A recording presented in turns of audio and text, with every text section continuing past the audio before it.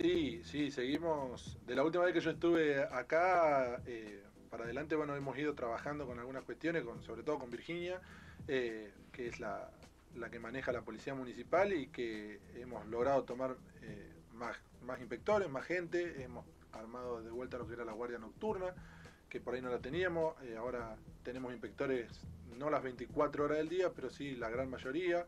Eh, antes se nos complicaba un poco los horarios nocturnos, bueno, ahora tenemos eh, inspectores que están de casi todos los días, no, no, de lunes a viernes, pero sí, sí casi todos los días, eh, sobre todo los fines de semana. Nos permite acomodar un poco el tránsito, seguimos con los operativos, retención de vehículos, multas, control de camiones, todo se, se, va haciendo y bueno, es más o menos igual que los perros. Hay gente que los entiende y, busca mejorar esas cosas y hay gente que eh, por ahí reincide, reincide, reincide o, busca su propio beneficio en algunas cuestiones y, eso ocasiona algún problema para, los demás, pero sí, se sigue trabajando. El denominador común sigue siendo el tema de las motos sin luz, que es una, pandemia. Es una pandemia. Eh, es una, la verdad que es una cosa que no se entiende mucho el, por qué sacarle la luz a la moto. Es una cuestión que no tiene una explicación. No es ni siquiera porque quede más lindo porque quede más feo. A ver, se la sacan, no es que se les quema. No, hay muchas muchas luces que no tienen ni siquiera. Hay gente que se le quema el foco y por una cuestión de, tiempos te dicen siempre cuando les hace la multa de no lo cambie. Bueno, eh, ahora que la moto está retenida, aprovecha y cambiarlo. Eh, cambia el foco, una vez que está el foco prendido, funcionando, te bajo la moto y listo. Y se solucionó el problema. Son cinco minutos. Y después hay gente que se lo saca directamente. Por ahí son los más, eh, más chicos, que, vemos que son jóvenes, que son motos armadas, motos armadas con pedazos de otra. Bueno, eh, esas motos eh, tenemos muchísimas guardadas en el, en el juzgado.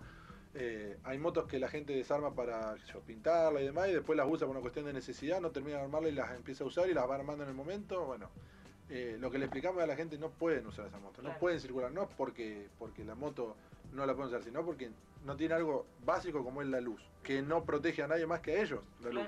Eh, si la gente no te ve de noche, eh, imagínense el viernes a la noche que llovinaba, que había un poco de neblina, es una cuestión peligrosísima. Obviamente que después son también van sin casco, van de a dos o tres en la moto, entonces es muchísimo el peligro, es por eso.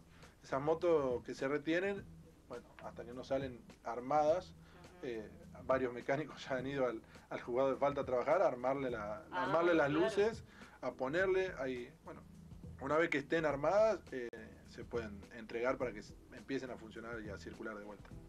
¿La falta de casco es la, infracción más común? Sí, sí, sin lugar a duda, seguro. Eh, la falta de casco es la primera, no tengo los porcentajes, pero, pero seguro ya lo vamos a tener cuando, cuando pongamos el sistema de monitoreo, en, el sistema de, multeo, perdón, en práctica que, nos va a tirar en tiempo real las estadísticas. Eh, cuando lo pongamos en funcionamiento va a estar registrado, pero sí, seguro, es la más común de todas eh, y le debe seguir seguramente la, falta de licencia o la licencia vencida. Claro.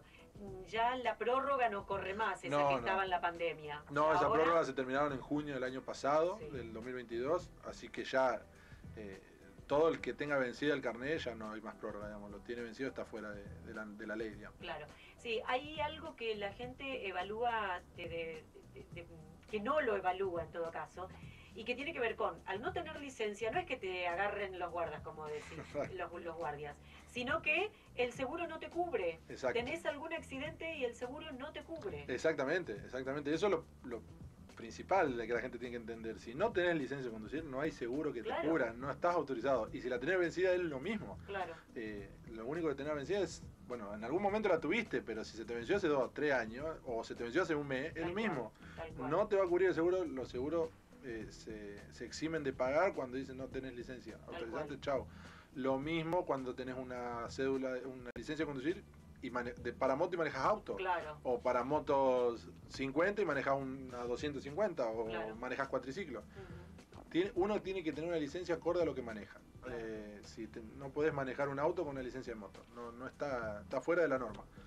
Eh, bueno, la gente de a poco lo va entendiendo, tenemos muchas consultas muchísima gente que se hace el carnet, lo renueva.